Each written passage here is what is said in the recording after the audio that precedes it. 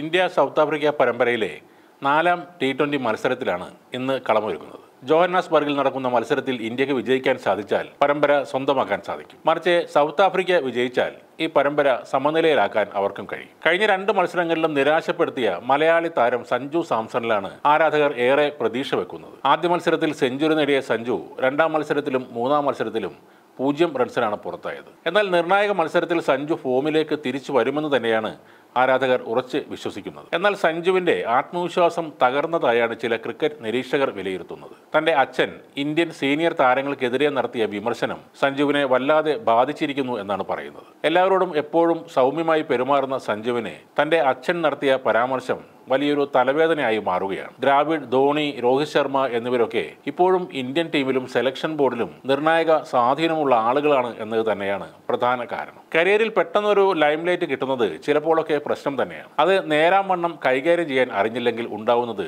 അതീവ ഗുരുതരമായ പ്രശ്നമായിരിക്കും. സഞ്ജുവിന്റെ അച്ഛനും സംഭവിച്ചത് അതുതന്നെയാണ് മുൻപേ സഞ്ജു ഫേമസ് ആയിരുന്നെങ്കിലും ഇങ്ങനെ ഒരു അസാധ്യ പ്രകടനം നടത്തി നിൽക്കുമ്പോൾ സ്വാഭാവികമായി അച്ഛനും ഒരു ലൈംലൈറ്റ് കിട്ടും. മാധ്യമങ്ങൾ വീട്ടിലേക്ക് ഓടിയെത്തും. എന്തെങ്കിലും പറയാൻ വേണ്ടി നിർബന്ധിക്കും. അങ്ങനെ കിട്ടിയ അവസരത്തിൽ മനസ്സിൽ കിടന്ന സങ്കടം മൊത്തത്തിൽ അദ്ദേഹം പറഞ്ഞതാണ് ഇപ്പോഴത്തെ ഈ സംഭവം. എന്നാൽ ചിലരുടെ പേരെടുത്ത് പറഞ്ഞത് ഗുരുതരമായ ആരോപണമാണ്. അത് സഞ്ജു അച്ഛനെ പറഞ്ഞു മനസ്സിലാക്കി കാണും എന്ന് തന്നെ കരുതാം. സഞ്ജുവിന്റെ അച്ഛന് നേരത്തെയും ചില പ്രശ്നങ്ങൾ ഉണ്ടായിട്ടുണ്ട്. രണ്ടായിരത്തി പതിനാറ് പതിനേഴ് മുംബൈയിൽ നടക്കുന്ന രഞ്ജി ട്രോഫി മത്സരത്തിൽ കേരളം ആന്ധ്രയെ നേരിടുകയാണ്. ബാറ്റ് ചെയ്യാൻ ക്രീസിലേക്ക് വരുന്ന സഞ്ജു സാംസൺ ക്രീസിലെത്തി ഉടനെ തന്നെ പൂജ്യത്തിന് പുറത്താകും. പോകുന്ന പോക്കിൽ നിരാശ കൊണ്ട് കയ്യിലിരുന്ന ബാറ്റ് എടുത്ത് അടിച്ചു പൊട്ടിക്കും. കളി തീരും വരെ ഡ്രസ്സിംഗ് റൂമിൽ ഉണ്ടാവണമെന്നുള്ള നിയമമൊക്കെ മറന്നുകൊണ്ട് ആരോടും ചോദിക്കാതെ പറയാതെ അവിടെ നിന്ന് ഇറങ്ങി എങ്ങോട്ടോ പോകുന്നു. ഇതറിഞ്ഞ കേരള ക്രിക്കറ്റ് അസോസിയേഷൻ മാപ്പ് പറയാൻ പറഞ്ഞിട്ടും അതിന് തയ്യാറാവാതെ വന്നപ്പോൾ സഞ്ജുവിനെ ടീമിൽ നിന്ന് പുറത്താക്കുന്നു. സംഭവം അറിഞ്ഞ സഞ്ജുവിന്റെ അച്ഛനായ സാംസൺ ഉടനെ തന്നെ Kerala cricket association president T C Mathew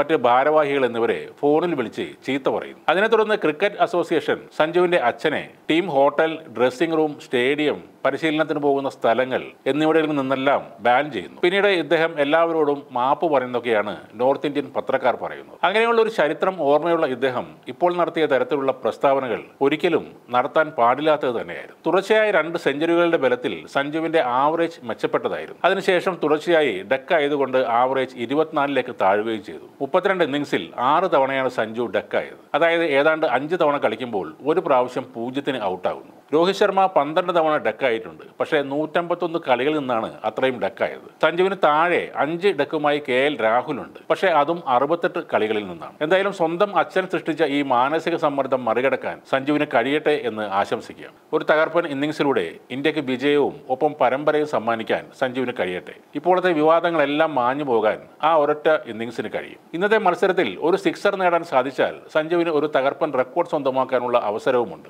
രണ്ടായിരത്തി ഇരുപത്തിനാല് കലണ്ടർ ഇയറിൽ ഏറ്റവും അധികം ടി ട്വന്റി സിക്സർ നേടുന്ന രണ്ടാമത്തെ താരമാകാൻ രോഹിത് ശർമ്മയെ മറികടന്നുകൊണ്ട് സഞ്ജുവിന് കഴിയും. അറുപത്തഞ്ച് സിക്സർ നേടിയ അഭിഷേക് ശർമ്മയാണ് ഒന്നാം സ്ഥാനത്ത് നിൽക്കുന്നത്. നാൽപ്പത്തി വീതം സിക്സറുമായി സഞ്ജുവും രോഹിത് ശർമ്മയുമാണ് ഒപ്പത്തിനൊപ്പം നിൽക്കുന്നത്.